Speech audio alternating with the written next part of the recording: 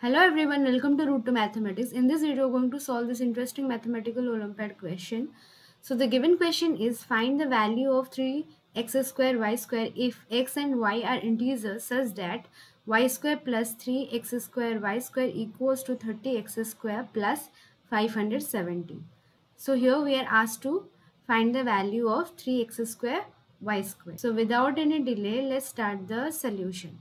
So we have given y square plus 3x square y square equals to 30x square plus 517.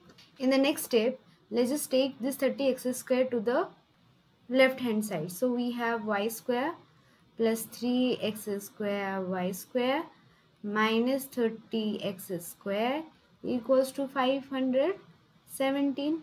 This implies this y square plus let's just take common 3x square from these two terms. So we have 3x square multiplied with y square minus 10 equals to 517 in the next step let's just subtract minus 10 in the both side of equation. So we can write y square minus 10 plus 3x square y square minus 10 equals to 500 17 minus 10 so this implies this. So here we can take y square minus 10 common. So we have y square minus 10 multiplied with 3x square plus 1 equals to 507 this implies this. We can write y square minus 10 multiplied with 3x square plus 1 equals to if we factorize this 507 we have 3 multiplied with 13 square. Since in the question it is given that x and y both are integers. So from here we can say that 3x square plus 1 cannot be a multiple of 3 because we have plus 1 with 3x square. So 3 can't be the solution. The other solution is 13 square. 169 is also not possible for 3x square plus 1. So let's just take 3x square plus 1 equals to 13.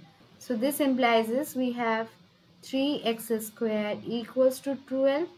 This implies this x square equals to 4. So here we have the value of x square. So if 3x square plus 1 equals to 13 then we can say that y square minus 10 equals to 3 multiplied with 13. So this implies this y square minus 10 equals to 39 so this implies this y square equals to 49. Okay. So from here we get y square equals to 49. What are asked to find? We are asked to find 3x square y square.